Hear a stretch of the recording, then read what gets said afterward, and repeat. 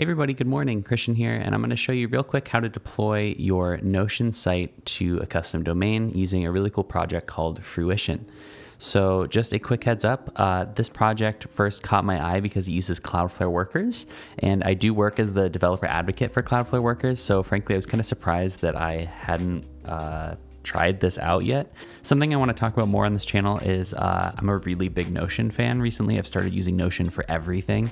And so when I saw someone talking about this project online, I was like, oh, this is like exactly the kind of thing that I should be deploying. So um, in this uh, video, I'm going to try and make it really quick. I already have a Notion page set up, and what I'm going to do is use Fruition to deploy it uh, to a custom domain.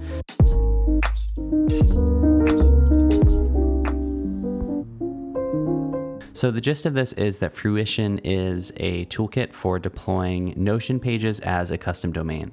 Um, you can find it at fruitionsite.com. I'll put it in the description. And the setup process here is supposed to be really quick. Um, basically, you set up a Cloudflare account, which I already have because um, I work on workers. And then you generate a script and then paste it into the Cloudflare workers editor. So there's a lot of really cool features here. You know, custom domains is the main one. Um, the thing here that they call pretty URLs, and the gist of that is that basically Notion's URLs have this like unique ID on them. So it's not slash about, it's like slash about dash one two three four five six seven eight nine. So it's this really long URL. Fruition um, basically fixes that into a nicer looking URL. You also get dark mode and custom fonts and custom JavaScript. So you can add things like analytics, you can add custom Google fonts and stuff like that. Um, I think the biggest positive to all of this is that Notion as a editor or especially as a site editor is really impressive. You can basically just type whatever. It's a what you see is what you get kind of editor.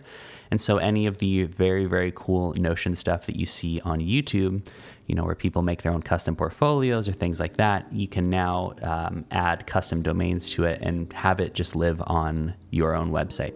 So right now I have signalnerve.com, which is my website, and uh, it's really kind of janky right now. It literally just pulls from GitHub using the GitHub README. It goes and gets that file and then turns it into HTML. You can see it looks uh, not great. And so what I'm going to do is I've actually already removed the code that makes this work, which also uses Cloudflare workers. It's my own custom thing that I wrote. So um, I need to now go back and add fruition to this uh, to this website.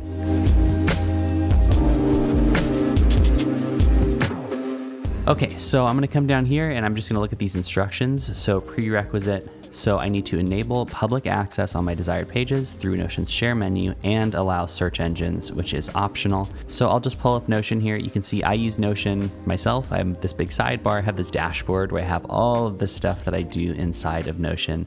I've made this separate page, which is just called Kristian Freeman, which is gonna be the landing page that I'm actually gonna use. I'll go to share here and I'll say share to web.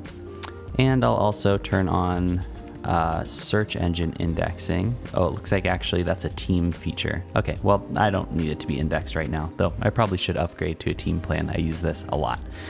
Okay, so now I have that sharing enabled.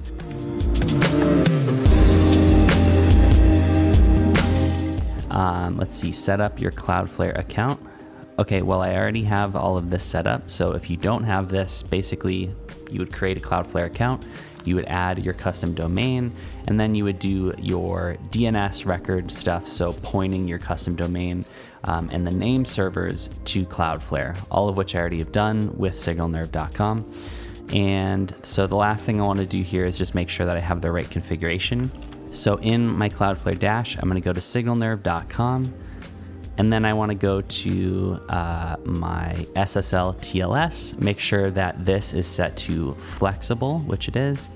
I'll also come to the Edge certificates page here, and I want to make sure that always use HTTPS is on.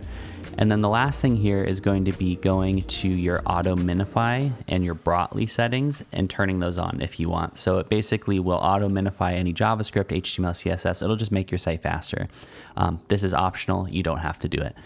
Once all of that is set up, you can press done. Again, I already have this set up. So What I'm gonna do now is I'm gonna skip again all of these workers instructions because I've already done them. This is basically what we call claiming a workers.dev subdomain. So every user on workers gets, you know, signalnerve.workers.dev or christian.workers.dev. I already have that claimed. I already have signalnerve.workers.dev. Um, you can pick your workers plan. Uh, the free plan works here, um, which I have as well. And now what we can do is finally get to the real instructions here. So I'm going to click on Cloudflare here at the top left. I'm going to go to workers, and then I'm going to create a new worker. And now I'm here in the editor.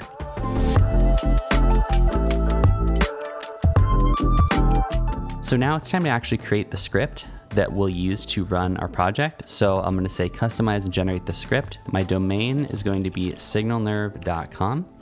And then my Notion URL is going to be my uh, page that I set up earlier. So I'll come back to Notion and I'll say copy link. Um, so let's see, toggle style and script settings so I can set a custom title, description, Google font, custom scripts. I can add a pretty link which says like link this page slash about to something else. I'm gonna leave that for now. This is literally just a one pager. And then what I'm gonna do is I'm gonna say copy the code. Okay, so this is copied. The next thing I need to do is paste the script into Cloudflare.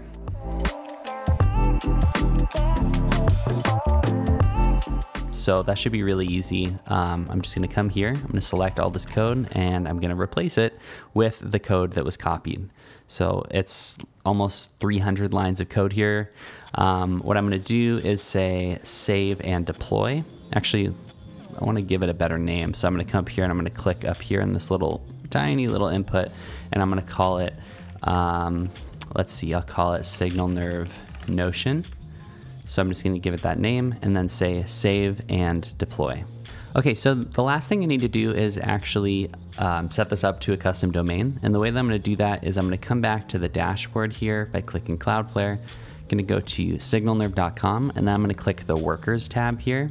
And now I just need to say when you hit this specific route, load this associated worker. So I'm going to say signalnerve.com and then I'm going to add a worker here to, I'll scroll down through all of my workers I have set up, to Signal Nerve Notion. So I'll click save here. And then if I go to signalnerve.com, so one thing you might run into if you think you know how to set it up and don't quite follow the instructions like I just did is that your site doesn't seem to work when you try and set up your custom route. And so what I noticed here is when I set up the route, I had used signalnerve.com slash and it didn't resolve to anything and I tried to go to signalnerve.com. You can see that here and I just opened a new tab and went to signalnerve.com up there. It's just hanging and hanging and hanging and in about 20 seconds or so it's going to give me a error where it says it can't reach uh, whatever I was supposed to be getting back here as a response. So if you run into that issue as a little bit of troubleshooting, the reason here is that you actually need to add this asterisk at the end of the route. This is what we call a wildcard or dynamic pattern. And what it does is it says don't only match signalnerve.com, also match any other path after that. So signalnerve.com slash star, any other paths should also go to this signalnerve notion worker. Okay, and you can see what happens here is right now it's giving me an error 522. It's trying to connect to this host here, signalnerve.com, and doesn't seem to be working. So again, the reason for that is that right now you can see it's going to signalnerve.com slash C1998. So this big string, that's my Notion page ID. And it's trying to go get that, but it's saying, uh, this isn't, there's no worker attached to this, right? Because what it has a worker attached to right now is just this signalnerve.com. So once I've added that route and I refresh here, you can see that it actually says retry for a live version because it knows the site was offline. If I refresh here now, it goes to signalnerve.com. It actually also goes to slash C199, whatever that ID was, and then removes it using that pretty URL feature that Notion has. Okay, so now signalnerve.com renders this page, right? So I can have this little toggle here. I have dark mode on my site, which is cool. But I think the coolest thing in this is that I can actually open up Notion so here on the left-hand side, I have signalnerve.com, and then on this side, I have my actual Notion, uh, you know, document here, and I can do something like, you know, signalnerve on Twitter. I can add that, and then if I refresh the page here, it actually didn't catch the whole update. Let me refresh it one more time. Now you can see it's it's basically live updating, right? So that's a little bit of a cautionary thing maybe to be aware of is that it literally just live updates based on whatever you're writing. So with that, we have custom domains using Fruition. Uh, there was a little kink that was a thing that I caused. Uh, I probably just know too much about workers, so I make assumptions that I think I know what I'm doing when I don't, uh, when I need to kind of slow down. But overall, I'm really impressed with the solution. It's open source, it's free. You can add as many pages to this as you want. You could build an entire portfolio or an entire freelance project um, using Notion, using Fruition. It's a it's a really neat idea. I think it's really cool. And um, if I can put on like my developer advocate hat for a bit, it's why something like Workers is really cool. It's why I pick it up for projects like this is because you can do things like really simple URL rendering. You can just go get something like a Notion page or something like that, and you have all these powerful semantics for updating responses and things like that. So you can have something like this really simple at the end of it. So um, I'll put a link in the description to Fruition if you want to try it out. I'm sure there's other things I'll do here. Um, for instance, I was thinking a cool thing would be uh, like setting up a list of projects that I've worked on recently, which I could do using a Notion table. Like I said, I'm really big into Notion right now, and so I use it for my own projects all the time. I can imagine what it would look like here, and maybe in a future video, I'll take a look at that. So if you set up a custom domain with Notion, let me know in the comments. I'd love to see your Notion pages. And uh, like I said, I'll put a link to all this stuff in the description. Thanks for watching, and uh, see you in the next video.